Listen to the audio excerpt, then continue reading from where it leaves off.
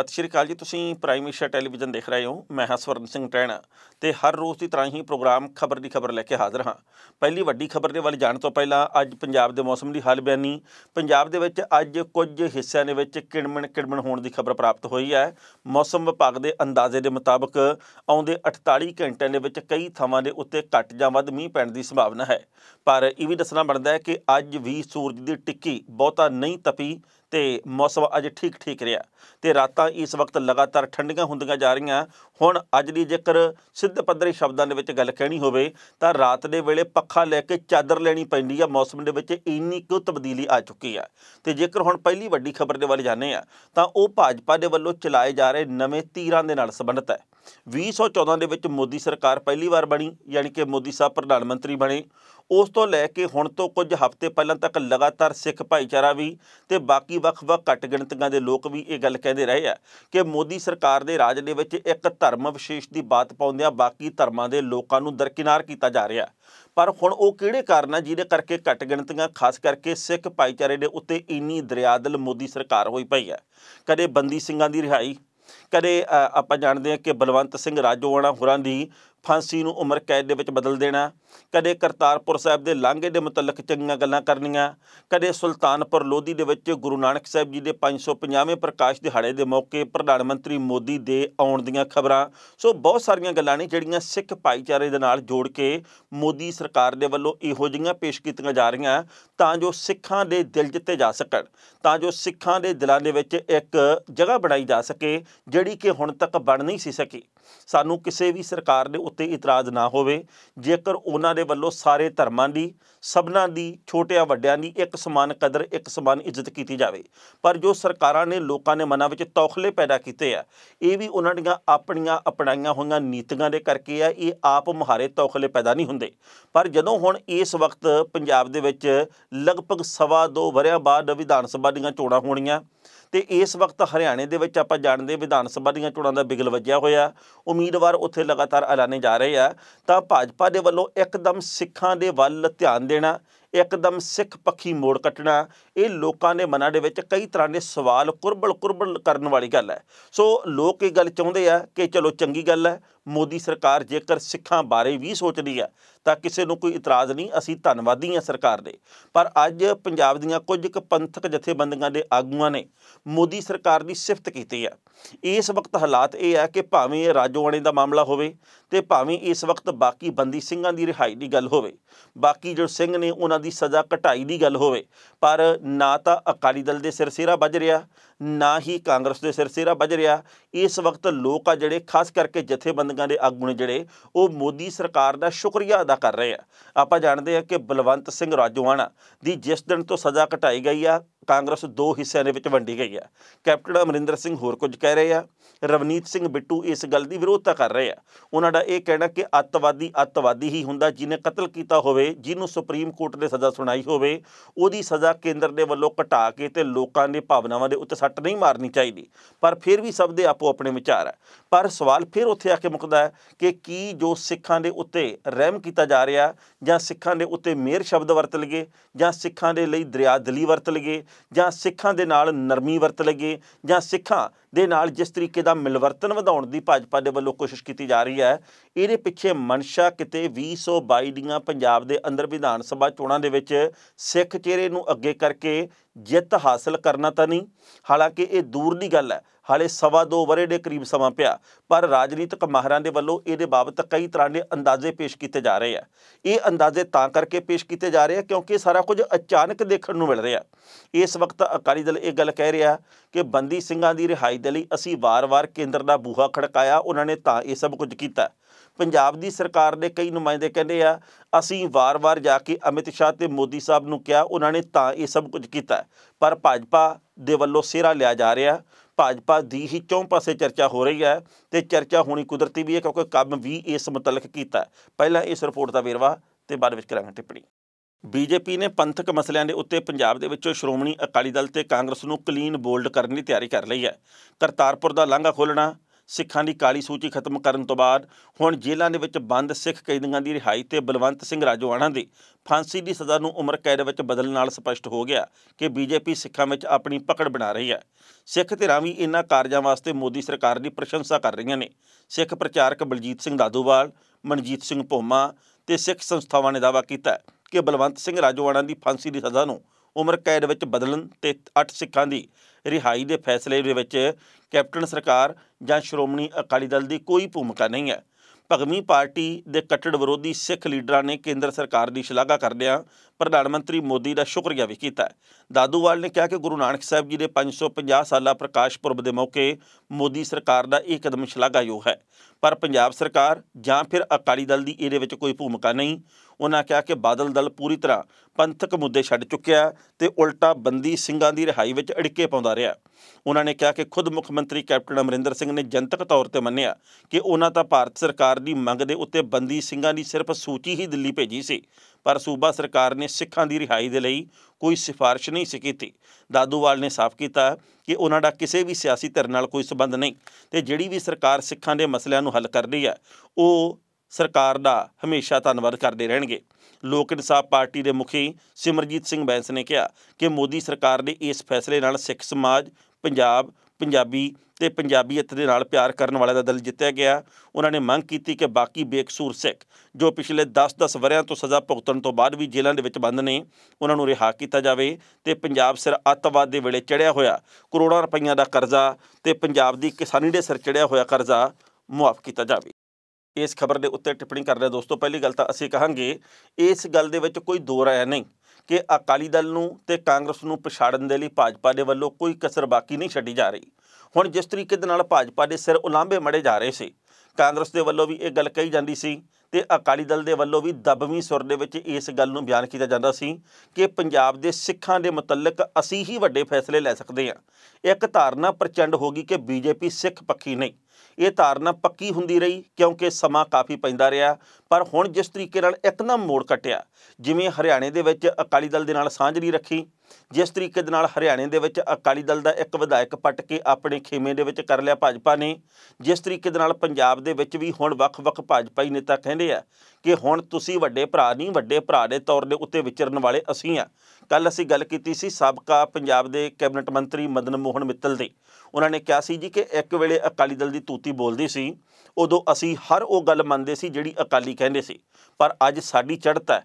ਹੁਣ ਅਸੀਂ ਜੇਕਰ ਇਕੱਠਿਆਂ ਚੋਣਾਂ ਲੜਦੀਆਂ ਹੋਣ, ਤਾਂ 59 ਸੀਟਾਂ ਦੀ ਘੱਟੋ ਘੱਟ ਅਸੀਂ ਮੰਗ ਕਰਾਂਗੇ। ਹੁਣ ਪਹਿਲਾਂ ਵਾਂਗ 23 ਸੀਟਾਂ ਦੇ ਉੱਤੇ ਗੁਜ਼ਾਰਾ ਨਹੀਂ ਹੋਣਾ। ਹਾਲਾਂਕਿ ਉਹਨਾਂ ਦੀ ਇਹ ਗੱਲ ਪ੍ਰਵਾਨ ਹੁੰਦੀ ਜਾਂ ਨਹੀਂ ਹੁੰਦੀ, ਇਹ ਵੇਲੇ ਤੋਂ ਪਹਿਲਾਂ ਦੀਆਂ ਗੱਲਾਂ, ਪਰ ਭਾਜਪਾ ਨੇ ਅੱਖਾਂ ਦਿਖਾਉਣੀਆਂ ਸ਼ੁਰੂ ਕਰ ਦਿੱਤੀਆਂ। ਤੇ ਭਾਜਪਾ ਨੂੰ ਇਸ ਗੱਲ ਦਾ ਪਤਾ ਕਿ ਨਬਜ਼ ਅਸਲ ਦੇ ਵਿੱਚ ਅਕਾਲੀ ਦਲ ਦੀ ਕਿਹੜੀ ਥਾਂ ਦੇ ਉੱਤੇ ਹੈ। ਹੁਣ ਤੱਕ ਅਕਾਲੀ ਦਲ ਦੇ ਵੱਲੋਂ ਪੰਥਕ ਰਾਜਨੀਤੀ ਕੀਤੀ ਜਾਂਦੀ ਰਹੀ ਹੈ। ਪੰਥਕ ਮੁੱਦੇ ਛਿੜਦੇ ਆ ਵੋਟਾਂ ਦੇ ਮੌਕੇ। ਪੰਥ ਦੇ ਸਹਾਰੇ ਸਰਕਾਰਾਂ ਬਣਦੀਆਂ, ਪਰ ਹੁਣ ਜੇਕਰ ਉਹਨਾਂ ਮੁੱਦਿਆਂ ਨੂੰ ਹਾਈਜੈਕ ਭਾਜਪਾ ਕਰ ਰਹੀ ਹੈ, ਤਾਂ ਅਕਾਲੀ ਦਲ ਨੂੰ ਇਹ ਗੱਲ ਚੰਗੀ ਨਹੀਂ ਲੱਗ ਰਹੀ। ਕਾਂਗਰਸ ਆ ਜਿਹੜੀ ਉਹ ਸਮੇਂ-ਸਮੇਂ ਦੇ ਉੱਤੇ ਭਾਵੇਂ ਪਿਛਾਂ ਹੋ ਕੇ, ਕਦੇ ਅਗਾਹ ਹੋ ਕੇ ਇਹ ਗੱਲ ਕਹਿੰਦੀ ਰਹੀ ਹੈ ਕਿ ਸਿੱਖਾਂ ਦੇ ਬਾਬਤ ਅਸੀਂ ਵੀ ਬਹੁਤ ਕੁਝ ਸੋਚਿਆ।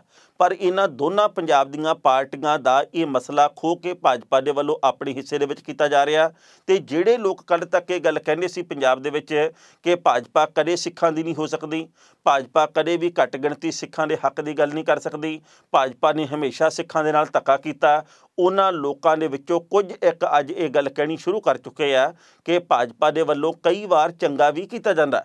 ਭਾਜਪਾ ਇਸ ਵਕਤ ਸਿੱਖਾਂ ਦੇ ਉੱਤੇ ਮਿਹਰਬਾਨ ਵੀ ਹੈ ਇਹ ਬਿਲਕੁਲ ਉਵੇਂ ਹੀ ਆ, ਜਿਵੇਂ ਪਾਕਿਸਤਾਨ ਦੇ ਵਿੱਚ ਇਮਰਾਨ ਖਾਨ ਦੀ ਸਰਕਾਰ ਭਾਰਤ ਦੇ ਸਿੱਖਾਂ ਦੇ ਉੱਤੇ ਮਿਹਰਬਾਨ ਜਾਪਦੀ ਹੈ। ਸੋ ਇਸ ਕਰਕੇ ਇਹ ਸਾਰਾ ਕੁਝ ਰਾਜਨੀਤੀ ਦੇ ਤਹਿਤ ਭਾਵੇਂ ਹੋ ਰਿਹਾ, ਪਰ ਵਕਤੀ ਤੌਰ ਦੇ ਉੱਤੇ ਚੰਗਾ ਲੱਗਣ ਵਾਲੀ ਗੱਲ ਹੈ। ਕੱਲ ਨੂੰ ਇਸ ਮਸਲੇ ਦੇ ਵਿੱਚ ਕੀ ਨਵਾਂ ਮੋੜ ਆਉਂਦਾ ਕੁਝ ਕਹਿ ਨਹੀਂ ਸਕਦੇ, ਪਰ ਇਹ ਗੱਲ ਬਿਲਕੁਲ ਪੱਥਰ ਦੇ ਉੱਤੇ ਲਕੀਰ ਵਰਗੀ ਹੈ ਕਿ ਭਾਜਪਾ ਦੇ ਵੱਲੋਂ ਆਪਣਾ ਸ਼ਕਤੀ ਪ੍ਰਦਰਸ਼ਨ ਵੀ ਕੀਤਾ ਜਾ ਰਿਹਾ। ਭਾਜਪਾ ਦੇ ਵੱਲੋਂ ਪੰਜਾਬ ਦੇ ਵਿੱਚ ਚੰਗਾ ਬਣਨ ਦੀ ਵੀ ਕੋਸ਼ਿਸ਼ ਕੀਤੀ ਜਾ ਰਹੀ ਹੈ। ਭਾਜਪਾ ਦੀ ਹਾਈ ਕਮਾਨ ਆ ਜਿਹੜੀ ਪ੍ਰਧਾਨ ਮੰਤਰੀ ਤੋਂ ਲੈ ਕੇ ਅਮਿਤ ਸ਼ਾਹ ਤੋਂ ਲੈ ਕੇ ਬਾਕੀ ਸੀਨੀਅਰ ਨੇਤਾ, ਉਹਨਾਂ ਦਾ ਇਹ ਜ਼ਰੂਰ ਕਹਿਣਾ ਤੇ ਇਹ ਜ਼ਰੂਰ ਮੰਨਣਾ ਕਿ ਪੰਜਾਬ ਦੇ ਵਿੱਚ ਜੇਕਰ ਅਸੀਂ ਸਿੱਖ ਭਾਈਚਾਰੇ ਨੂੰ ਖੁਸ਼ ਕਰਦੇ ਹਾਂ, ਤਾਂ ਸਾਰਾ ਕੁਝ ਸਾਡੇ ਹਿੱਸੇ ਦੇ ਵਿੱਚ ਆ ਸਕਦਾ ਕਿਉਂਕਿ ਭਾਜਪਾ ਦੀ ਇਹ ਗੱਲ ਪੱਕੀ ਹੈ ਕਿ ਉਹਨਾਂ ਦੇ ਹਿੱਸੇ ਦੇ ਵਿੱਚ ਹਿੰਦੂ ਵੋਟ ਹੈ। ਸ਼ਹਿਰੀ ਵੋਟ ਉਹਨਾਂ ਦੇ ਹੱਥ ਦੇ ਵਿੱਚ ਹੈ, ਪਰ ਪਿੰਡੂ ਵੋਟ ਜਿਹੜੀ ਸਿੱਖ ਭਾਈਚਾਰੇ ਦੀ ਵੋਟ ਹੈ, ਉਹਨੂੰ ਹੱਥ ਦੇ ਵਿੱਚ ਕਰਨ ਦੇ ਲਈ ਕੁਝ ਕੁ ਮੰਗਾਂ ਮੰਨੀਆਂ ਜਾ ਰਹੀਆਂ ਤੇ ਕੁਝ ਕਿਹੋ ਜਿਹੇ ਤਰੀਕੇ ਅਪਣਾਏ ਜਾ ਰਹੇ ਆ, ਜਿਹੜੇ ਸਾਨੂੰ ਇਸ ਵਕਤ ਚੰਗੇ ਲੱਗ ਰਹੇ ਆ। ਸੋ 2022 ਦੇ ਵਿੱਚ ਜੇਕਰ ਭਾਜਪਾ ਦੇ ਵੱਲੋਂ ਇਕੱਲੇ ਤੌਰ ਦੇ ਉੱਤੇ ਚੋਣ ਲੜੀ ਗਈ, ਤਾਂ ਇਹ ਗੱਲ ਪੱਕੀ ਹੈ ਕਿ ਜਿੰਨੀ ਰਫ਼ਤਾਰ ਦੇ ਨਾਲ ਭਾਜਪਾ ਅੱਗੇ ਵਧ ਰਹੀ ਹੈ, ਇਹਦੇ ਵੱਲੋਂ ਸ਼ਾਇਦ ਕਿਸੇ ਨੂੰ ਬਰਾਬਰ ਨਾ ਆਉਣ ਦਿੱਤਾ ਜਾਵੇ। ਇਸ ਕਰਕੇ ਜਿਹੜੀਆਂ ਜਿਹੜੀਆਂ ਪਾਰਟੀਆਂ ਹੁਣ ਤੱਕ ਪੰਥਕ ਮੁੱਦਿਆਂ ਦੀ ਰਾਜਨੀਤੀ ਕਰਦੀਆਂ ਰਹੀਆਂ, ਉਹਨਾਂ ਨੂੰ ਸਵੈ ਪੜਚੋਲ ਕਰਨੀ ਪਊਗੀ ਕਿ ਅਸੀਂ ਇਹਨਾਂ ਮੁੱਦਿਆਂ ਨੂੰ ਵਰਤਦੇ ਵਰਤਦੇ ਕਿੱਥੇ ਜਾ ਕੇ ਖੜ ਗਏ ਆ ਲੋਕ ਸਾਡੀਆਂ ਗੱਲਾਂ ਨੂੰ ਅਸਰਦਾਰ ਕਿਉਂ ਨਹੀਂ ਮੰਨ ਰਹੇ? ਅਸੀਂ ਉਹਨਾਂ ਗੱਲਾਂ ਨੂੰ ਅਸਰਦਾਰ ਬਣਾਉਣ ਦੇ ਲਈ ਕਿਹੜੇ-ਕਿਹੜੇ ਹਰਬੇ ਵਰਤਣੇ ਆ?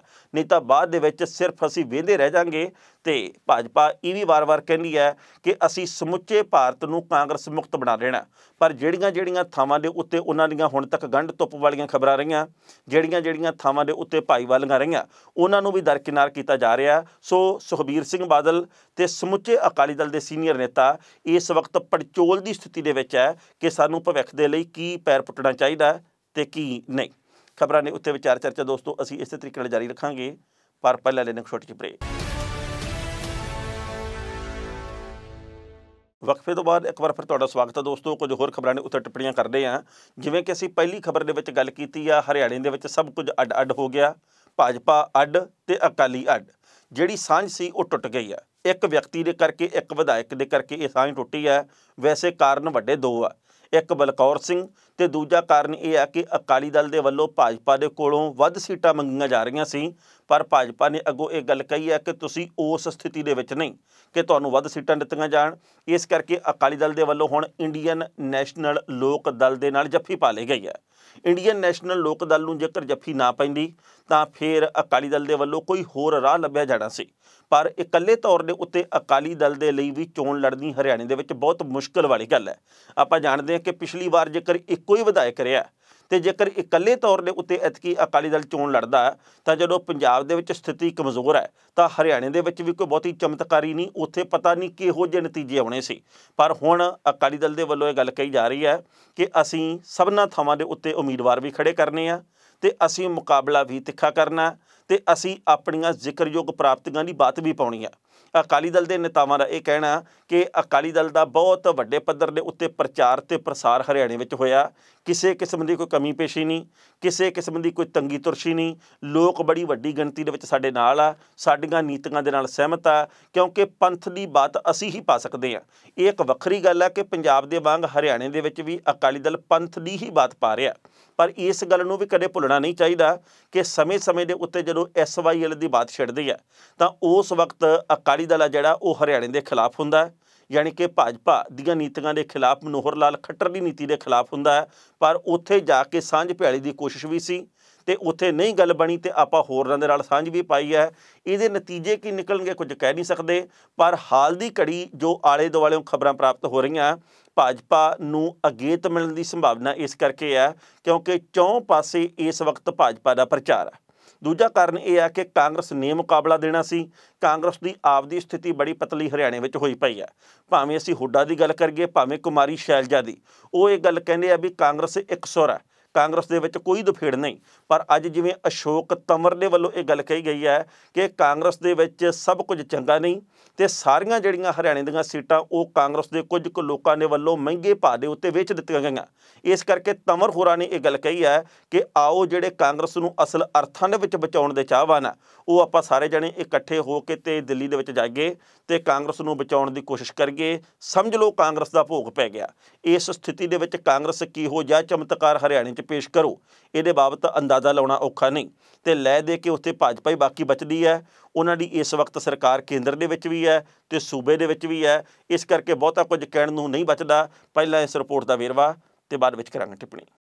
ਹਰਿਆਣੇ ਵਿੱਚ ਸ਼੍ਰੋਮਣੀ ਅਕਾਲੀ ਦਲ ਤੇ ਇੰਡੀਅਨ ਨੈਸ਼ਨਲ ਲੋਕ ਦਲ ਇਕੱਠੇ ਜ਼ਿਮਨੀ ਚੋਣਾਂ ਲੜਨਗੇ। ਬੁੱਧਵਾਰ ਨੂੰ ਪ੍ਰਧਾਨ ਸੁਖਬੀਰ ਬਾਦਲ ਨੇ ਇਸ ਦਾ ਐਲਾਨ ਕੀਤਾ। ਸੁਖਬੀਰ ਨੇ ਦੱਸਿਆ ਕਿ ਰਤੀਆ ਤੇ ਕੋਲਿਆਂਵਾਲੀ ਤੋਂ ਦੋਵਾਂ ਪਾਰਟੀਆਂ ਦਾ ਇੱਕ ਇੱਕ ਉਮੀਦਵਾਰ ਖੜਾ ਕੀਤਾ ਜਾਵੇਗਾ। ਪ੍ਰਕਾਸ਼ ਸਿੰਘ ਬਾਦਲ ਤੇ ਓਮ ਪ੍ਰਕਾਸ਼ ਚੋਟਾਲਾ ਦੋਵਾਂ ਉਮੀਦਵਾਰਾਂ ਦੇ ਨਾਲ ਨਾਮਜ਼ਦਗੀਆਂ ਭਰਨ ਜਾਣਗੇ। ਸੁਖਬੀਰ ਬਾਦਲ ਨੇ ਕਿਹਾ ਕਿ ਵੀਰਵਾਰ ਨੂੰ ਸਵੇਰੇ 10 ਵਜੇ ਕੋਲਿਆਂਵਾਲੀ ਹਲਕੇ ਤੋਂ ਅਕਾਲੀ ਦਲ ਦੇ ਉਮੀਦਵਾਰ ਰਜਿੰਦਰ ਸਿੰਘ ਦੇਸੂ ਜੋਧਾ ਆਪਣੀ ਨਾਮਜ਼ਦਗੀ ਭਰਨਗੇ, ਜਦਕਿ ਰਤੀਆ ਤੋਂ ਅਨੈਲੋ ਦੇ ਉਮੀਦਵਾਰ ਕੁਲਵਿੰਦਰ ਸਿੰਘ ਕੁਨਾਲ ਦੁਪਹਿਰੇ 12 ਵਜੇ ਕਾਗਜ਼ ਦਾਖਲ ਕਰਾਉਣਗੇ। ਇਸ ਕਰਕੇ ਸ਼੍ਰੋਮਣੀ ਅਕਾਲੀ ਦਲ ਹਰਿਆਣੇ ਵਿੱਚ ਬੀਜੇਪੀ ਨੂੰ ਛੱਡ ਕੇ ਬਾਕੀ ਪਾਰਟੀਆਂ ਨਾਲ ਗੱਠਜੋੜ ਕਰਕੇ ਉਮੀਦਵਾਰ ਉਤਾਰ ਰਿਹਾ।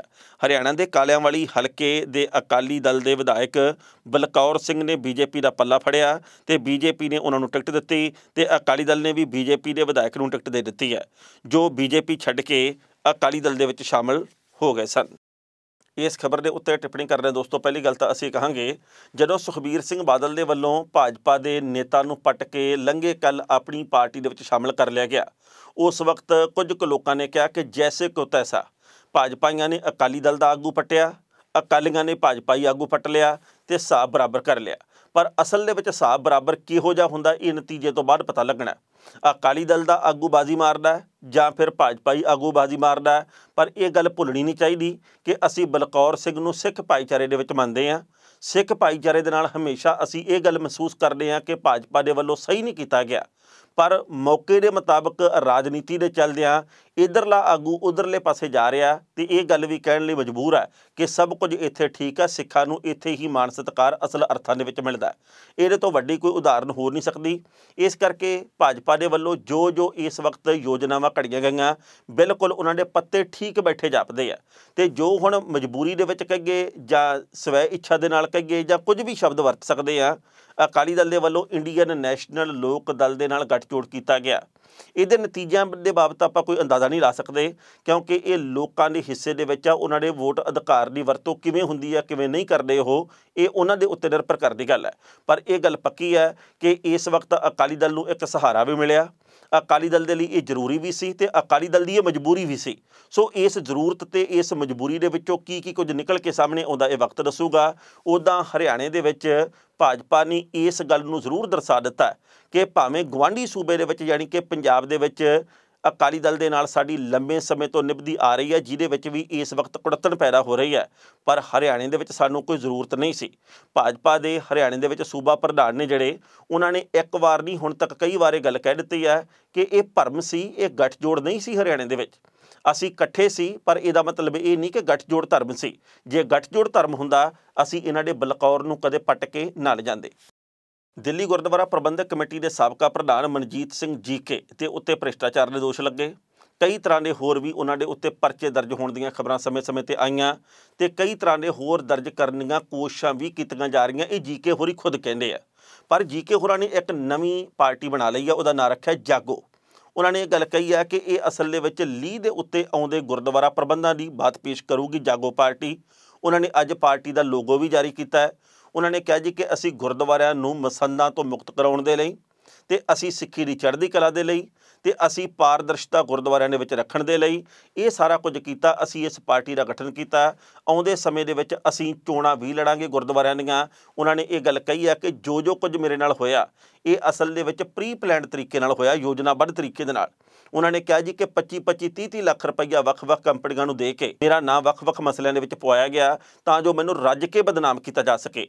ਹੁਣ ਮਨਜੀਤ ਸਿੰਘ ਜੀਕੇ ਹੋਰਾਂ ਦੇ ਵੱਲੋਂ ਜੋ ਖੁਲਾਸੇ ਕੀਤੇ ਜਾ ਰਹੇ ਆ, ਯਕੀਨ ਕਰਨਾ ਜਾਂ ਨਾ ਕਰਨਾ ਆਪਣੀ ਮਰਜ਼ੀ ਹੈ ਪਰ ਪਹਿਲਾਂ ਉਹਨਾਂ ਦੀ ਜਾਗੋ ਪਾਰਟੀ ਦੇ ਮੁਤਲਕ ਵੇਰਵਾ ਤੇ ਬਾਅਦ ਵਿੱਚ ਕਰਾਂਗੇ ਟਿੱਪਣੀ। ਦਿੱਲੀ ਸਿੱਖ ਗੁਰਦੁਆਰਾ ਪ੍ਰਬੰਧਕ ਕਮੇਟੀ ਦੇ ਸਾਬਕਾ ਪ੍ਰਧਾਨ ਮਨਜੀਤ ਸਿੰਘ ਜੀਕੇ ਦੇ ਵੱਲੋਂ ਅੱਜ ਨਵੀਂ ਪਾਰਟੀ ਦਾ ਐਲਾਨ ਕੀਤਾ ਗਿਆ। ਉਹਨਾਂ ਨੇ ਪਾਰਟੀ ਦਾ ਨਾਂ ਰੱਖਿਆ ਜਾਗੋ। ਇਸ ਲਈ ਬਕਾਇਦਾ ਉਹਨਾਂ ਨੇ ਪਾਰਟੀ ਦਾ ਲੋਗੋ ਵੀ ਜਾਰੀ ਕੀਤਾ ਮਨਜੀਤ ਸਿੰਘ ਨੇ ਕਿਹਾ ਕਿ ਸਾਡੀ ਪਾਰਟੀ ਜਾਗੋ ਸੁੱਤਿਆਂ ਨੂੰ ਜਗਾਉਣ ਆਈ ਹੈ। ਇਸ ਦੀ ਟੈਗ ਲਾਈਨ ਹੋਵੇਗੀ ਨੀਹਾਂ ਤੋਂ ਲੀਹਾਂ ਤੱਕ।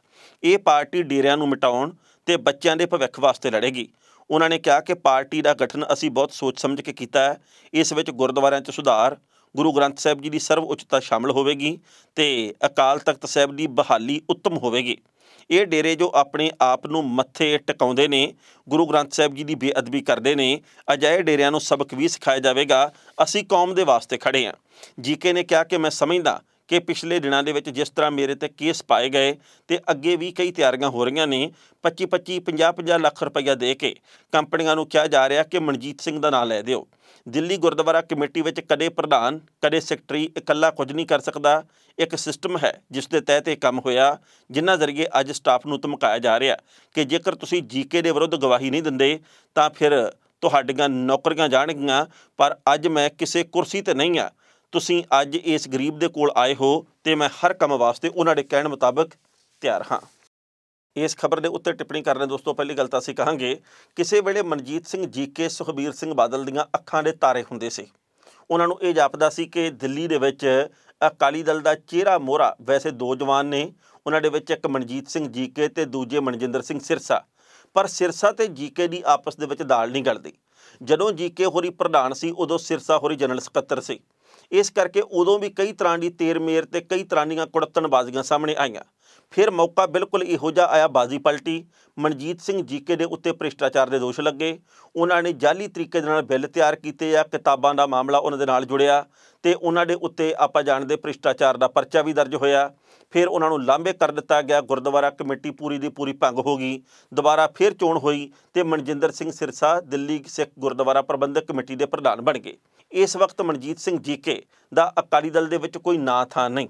ਉਹਨਾਂ ਨੂੰ ਆਪਣੀ ਪਾਰਟੀ ਬਣਾਉਣੀ ਹੀ ਪੈਣੀ ਸੀ, ਪਰ ਭਰੋਸੇਯੋਗ ਸੂਤਰ ਇਹ ਵੀ ਗੱਲ ਕਹਿੰਦੇ ਆ ਕਿ ਜੀਕੇ ਹੋਰੀ ਹੋ ਸਕਦਾ ਆਉਂਦੇ ਸਮੇਂ ਦੇ ਵਿੱਚ ਦਿੱਲੀ ਕਮੇਟੀ ਦੀਆਂ ਚੋਣਾਂ ਦੇ ਵਿੱਚ ਕੁਝ ਚੰਗਾ ਪ੍ਰਦਰਸ਼ਨ ਵੀ ਕਰ ਸਕਣ, ਕਿਉਂਕਿ ਅੰਦਰ ਖਾਤੇ ਹੋ ਸਕਦਾ ਸਰਨਾ ਗਰੁੱਪ ਵੀ ਉਹਨਾਂ ਦੀ ਮਦਦ ਕਰੇ। ਤੇ ਕੁਝ ਕੁ ਲੋਕ ਇਹ ਗੱਲ ਕਹਿੰਦੇ ਆ, ਹੋ ਸਕਦਾ ਅੰਦਰ ਖਾਤੇ ਭਾਜਪਾ ਵੀ ਮਦਦ ਕਰ ਦੇਵੇ। ਸੋ ਜੇਕਰ ਇਹ ਸਾਰਾ ਕੁਝ ਉਵੇਂ ਹੋ ਜਾਂਦਾ, ਜਿਵੇਂ ਕਿ ਗੁਪਤ ਸੂਤਰ ਕਹਿੰਦੇ ਆ, ਤਾਂ ਚਮਤਕਾਰੀ ਨਤੀਜੇ ਭਵਿੱਖ ਦੇ ਵਿੱਚ ਕਈ ਹੋਰ ਨਿਕਲ ਸਕਦੇ ਆ। ਬਾਕੀ ਇਹ ਵਕਤ ਦੇ ਉੱਤੇ ਨਿਰਭਰ ਕਰਦੀਆਂ ਗੱਲਾਂ। ਇਹਦੇ ਵਿੱਚ ਕੋਈ ਵੀ ਹੇਰਫੇਰ ਹੋ ਸਕਦਾ, ਕੋਈ ਵੀ ਇਹਦੇ ਵਿੱਚ ਮੋੜ ਨਵਾਂ ਆ ਸਕਦਾ। ਪਰ ਮਨਜੀਤ ਸਿੰਘ ਜੀਕੇ ਹੋਰਾਂ ਨੇ ਆਪਣੀ ਨਵੀਂ ਪਾਰੀ ਦਾ ਆਗਾਜ਼ ਕੀਤਾ, ਜਾਗੋ ਦੇ ਰਾਹੀਂ। ਉਹ ਇਸ ਜਾਗੋ ਦੇ ਰਾਹੀਂ ਕਿੰਨੇ ਕੁ ਲੋਕਾਂ ਨੂੰ ਜਗਾ ਕੇ ਆਪਣੇ ਨਾਲ ਤੋਰਨ ਦੇ ਵਿੱਚ ਸਫਲ ਹੁੰਦੇ ਆ। ਇਹ ਆਉਣ ਵਾਲੇ ਵਕਤ ਨੇ ਆਪਣੇ ਆਪ ਬਿਆਨ ਕਰ ਦੇਣਾ। ਖਬਰਾਂ ਦੇ ਉੱਤੇ ਵਿਚਾਰ ਚਰਚਾ ਹੋਰ ਵੀ ਕੀਤੀ ਜਾ ਸਕਦੀ ਸੀ, ਪਰ ਜੋ ਵਕਤ ਦੀ ਘਾਟੇ ਰੁਕਣ ਦਾ ਇਸ਼ਾਰਾ ਕਰ ਰਹੀ ਹੈ। ਕੱਲ ਨੂੰ ਇਸੇ ਵੇਲੇ ਖਬਰ ਦੀ ਖਬਰ ਲੈ ਕੇ ਮੁੜ ਹਾਜ਼ਰ ਹੋਵਾਂਗੇ। ਉਦੋਂ ਤੱਕ ਲਈ ਆਗਿਆ ਦਿਓ। ਬਹੁਤ ਬਹੁਤ ਮਿਹਰਬਾਨੀ।